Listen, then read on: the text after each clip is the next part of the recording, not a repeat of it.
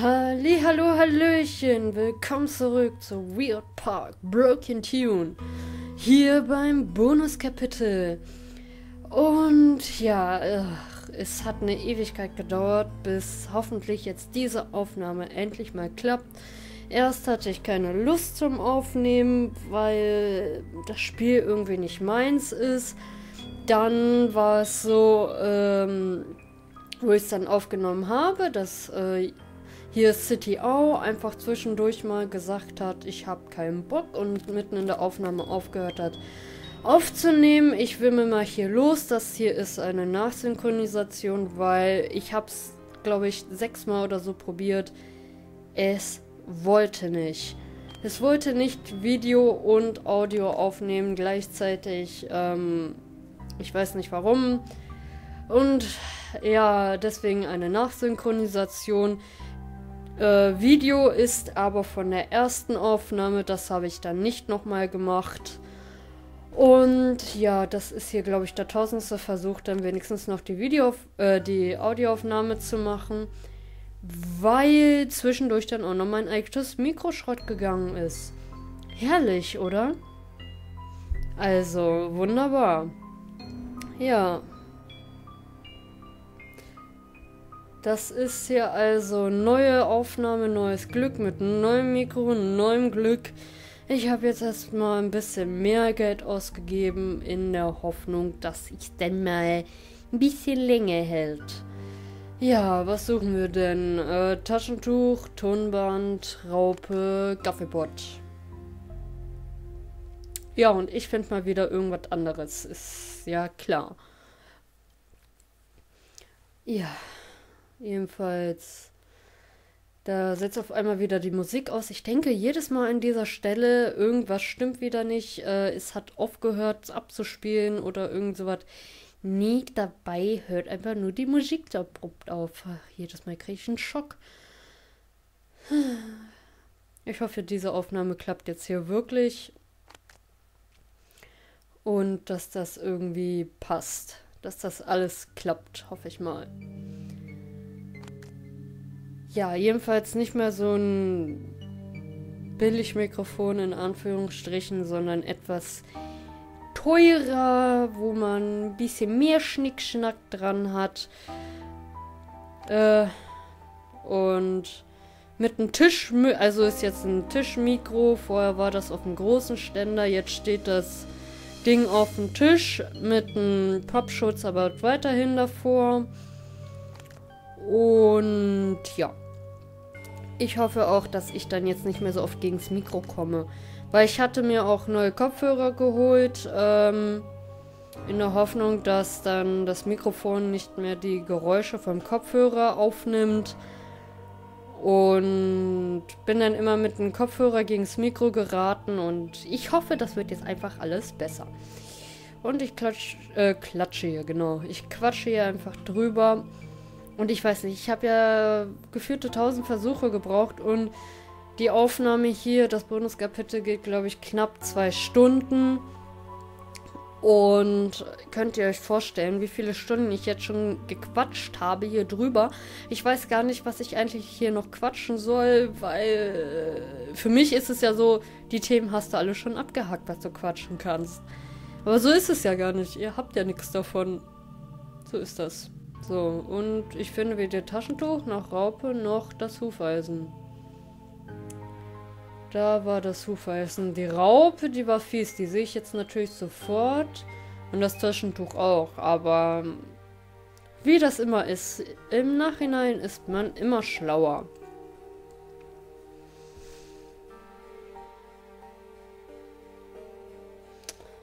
Ja, und wie ich mich natürlich äh, aufgeregt habe, gerade ist die Folge draußen mit dem Fisch, mit äh, Sebastian Horatius Black.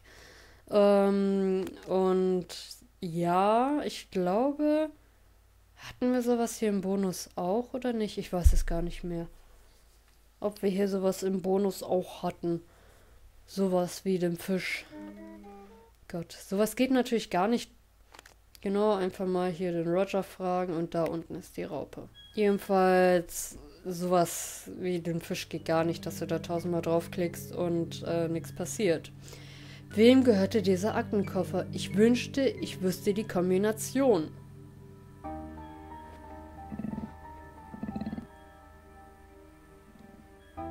Hm, Spinnweben, sehr nett. Eine Katze. Der Lux sieht wütend aus. Vielleicht äh, kann ich ihn mit etwas zu fressen besänftigen. Oder ablenken.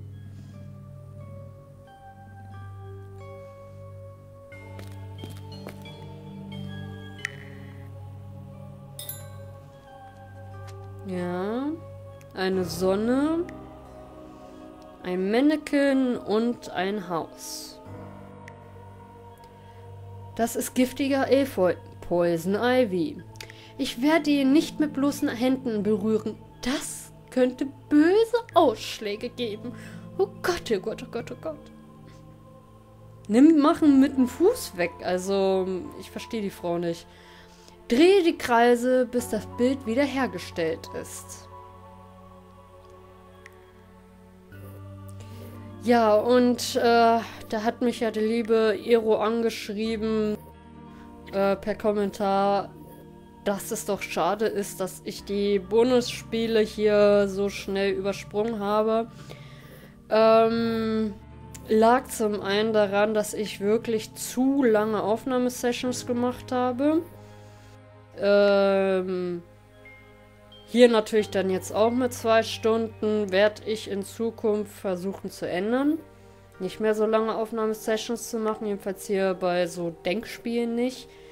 Ähm, zum anderen lag es aber auch, denke ich mal, daran, dass ähm, manche Bonusspiele, Bonusspiele sage ich schon, Minispiele mir einfach irgendwie ja, blöd waren, jetzt nicht im Sinne von Pipi leicht, sondern ich dann diese Art von Minispiel einfach nicht mochte. Hier zum Beispiel ähm, mit der Puppe, mit dem Fingerding, wo man die Finger befreien musste. So eine Art Minispiel ist nicht meins. Hier auch, das werdet ihr dann schon gesehen haben, weil die Folge jetzt momentan noch nicht draußen ist. Aber wenn hier das Bonus rauskommt, die raus sein wird, was für ein Satz, äh, Gehirnbrand, ähm, dann werdet ihr sehen, dass mit der Orgel. Äh, warum habe ich dann das abgebrochen? Habe ich da, glaube ich, schon gesagt. Ich hasse Orgelmusik. Und dann ein Minispiel, wo man dann da diese scheiß Orgelmusik ertragen muss. Und äh, dann, wenn du was falsch machst, alles von neu machen musst. Tut mir leid, da habe ich dann wirklich die Nerven nicht für. Und das eben liegt vielleicht auch daran, dass Weird Park nicht mein Wimmelbild-Spiel ist. Dass ich wirklich mir eigentlich nur noch gewünscht habe, bitte sei zu Ende. Ähm, das habe ich mir, ja, da war ich auch mit den Nerven am Ende. Und das merkt man, glaube ich, auch ein bisschen hier im Bonuskapitel. Ähm, das Denkmal sieht so aus, als äh, wäre es eingefroren. Ich glaube, es fehlt etwas. Und da ist genau das gleiche. Und ja, das merkt man dann einfach, dass man sich dann irgendwann, das ähm, ich brauche etwas, um das Wasser äh, zu transportieren. Ähm, genau, und hier können wir den Code eingeben, nämlich die Sonne, das Mannequin und in, äh, das Haus. Das merkt man ja leider dann an der Spielweise, ähm, dass es nicht das Spiel für einen ist. Ein Horn. Ein Posthorn. Können wir damit vielleicht die Katze irgendwie verscheuchen? Der Lux sieht nicht so wütend, äh, sieht wütend aus, aber geht nicht. Ähm, und ich bin aber dann niemand, der dann, ich habe ja das Wimmelbild-Spiel dann das Let's Play angefangen. Ich bin dann niemand, der dann einfach, ähm, ja, der einmal könnte nützlich sein. Ich muss einen Weg finden, um da heranzukommen. Ja, ich hasse den Eimer. Mit, oh Gott, ja. Ähm, dass man einfach merkt, ähm, eben deiner Spielweise, tausendmal den gleichen Satz angefangen, weil ich hier irgendwas vorlesen muss. äh, dass einem das Spiel wirklich quasi nervt und man es nur noch zu Ende haben möchte.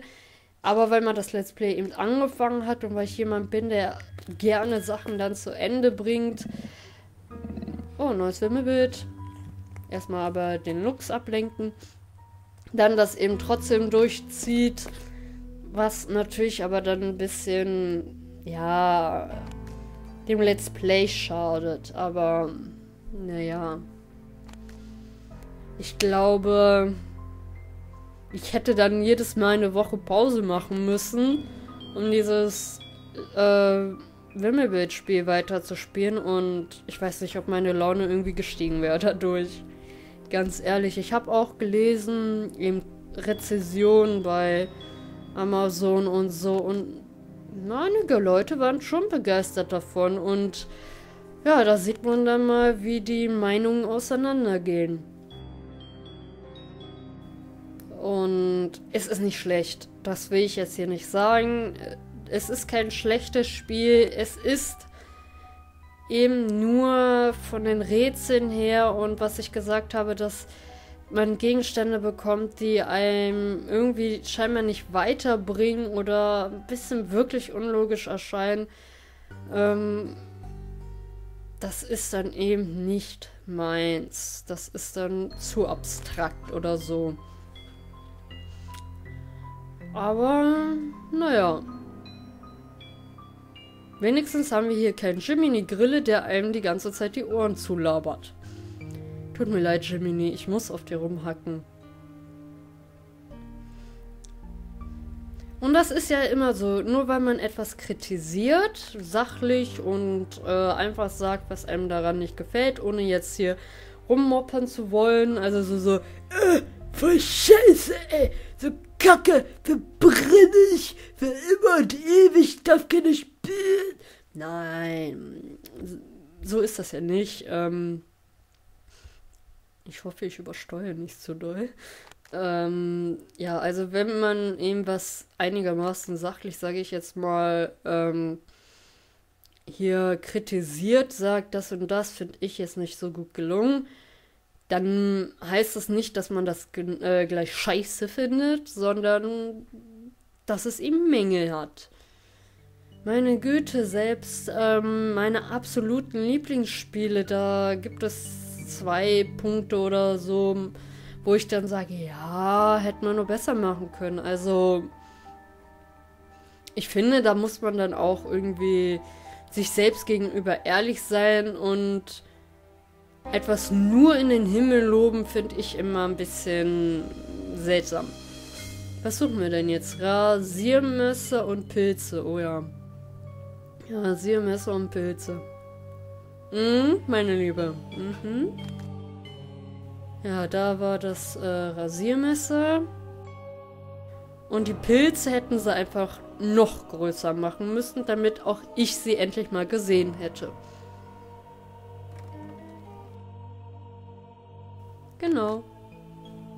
Einfach nur etwas noch größer machen. Wir haben eine Brechstange. Und ich will mal Brechtstange sagen. Irgendwie ist da so ein Sprachfehler bei mir drin. Natürlich kann man es nicht mit einem Steckenpferd irgendwie da abmachen, weil die Tusse noch kleiner ist als ich.